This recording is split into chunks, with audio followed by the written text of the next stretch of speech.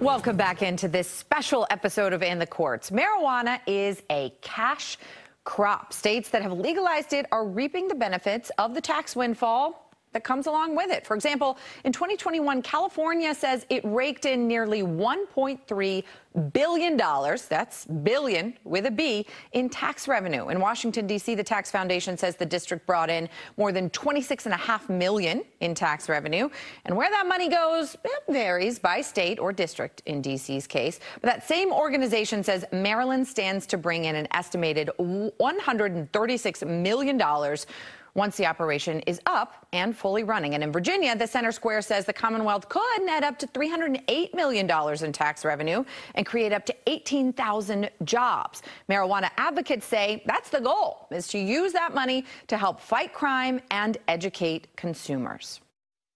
Last year, my state government got over $500 million of tax revenue earmarked for public health, for law enforcement, for education, for good stuff instead of gangs and organized crime. What's not to like about that? The numbers are in. Now, one local woman was a pioneer in the marijuana industry. Linda Mercado Greene was one of the first black women to get a license legally to sell pot in the country. She now owns a thriving business east of the Anacostia River. And I had the chance to sit down with her to talk money, marijuana, and the future of the business. All right, Linda, you have been in this business for a while in D.C., but back when D.C. was one of the early movers on legalizing medical marijuana, there was still a lot that business owners had to do to be able to set up shop, high barrier to entry.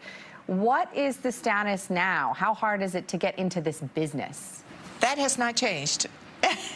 There have been a few, you know, alterations, but even when I got into my business, um, uh, you had to have um, a lease. Uh, you have to um, have a, a neighborhood approval, uh, the ANC approval. Um, you should have letters of recommendation. Uh, you need to have your financials in order. Um, there's still a lot of barriers um, I wouldn't say barriers, but there are a lot of things that you have to do for a legal licensing. Does that make it difficult for people to get into this industry, particularly minority-owned business owners? Absolutely it does. For one, the federal government has not federally legalized cannabis which means that if you have to have a letter of intent or a lease um, on where you plan to locate your operations, um, that could really um, be very hard to get because the owner of that property knows that you are operating a federally illegal business on their property, and the FBI or DEA can actually come and uh, take their property in a minute. So, you know, that's really, really hard to do. And then, of course, you're going to pay a lot more than uh, just leasing it for a normal business because of the risk factors that they have to take as well. You were one of the first, I believe, 10 black women in the country to get a medical license yes. to own this type of business. You have been working in this for a while. One of those barriers to entry that is particularly problematic is where you bank, where you put your ah. money. Can you explain a little bit about what that issue is, and is there anything being done about it?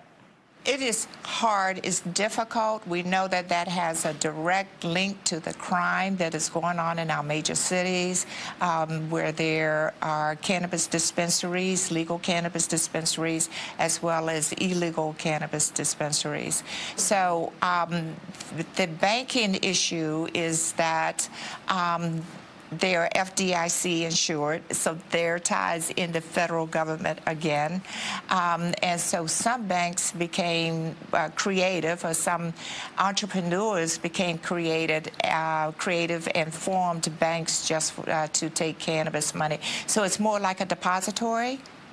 So we can we can um, send our money to them. It's picked up by armored cars, and we can uh, write uh, checks for our vendors and pay our pay our staff uh, through direct deposit. But you can't work with regular banks as as you and I would walk in to open a checking account. We cannot, and we that's why we are really hoping and pushing the Safe Banking Act. Um, it has been passed on the uh, House of Representatives side seven times. It's in the Senate. So the Safe Banking Act one, will allow us to bank at normal banks. Two, it will allow us to be able to get loans, to get grants, and the necessary things to operate our business that other businesses have access to. We don't have access to that. Even during COVID, when the PPP um, funds became available, Right. the legal licensees could not apply for that, even though we were always open. We hmm. were deemed essential. Right. But we could not apply for that because it's government funding.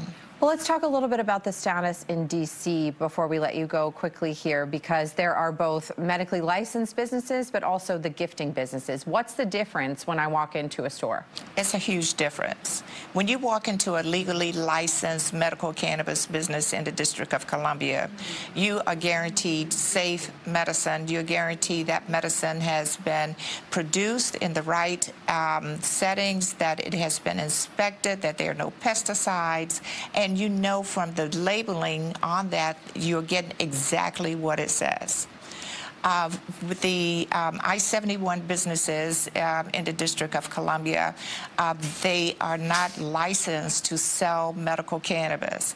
The Initiative 71 Act uh, was approved um, uh, to um, for DC residents to be able to uh, home grow, home use, and home share up to two ounces for no monetary value. So they took that no monetary value and says, okay, um, I'll gift. give you a T-shirt uh, and you know and do that exchange. But the issue is that the money is not recirculating back into our city because they're not paying taxes on that because they can't pay taxes on it. And you mentioned they were making exponentially more money than Yes, so New Frontier businesses. Data stated last year um, uh, that the illicit market in DC um, made over 600 million in revenue, and the legal market in DC only made 35 million in revenue. That's a big difference. That's a huge difference. And that's something that the mayor has also talked about cracking down on. That status of that uh, task force is something that's kind of up in the air at the moment, but Mm-hmm. something that we'll keep an eye on. Well, Linda, thank you so much for sharing your knowledge with Thank us. We you. appreciate it. Thank you so much, Katie. Appreciate you.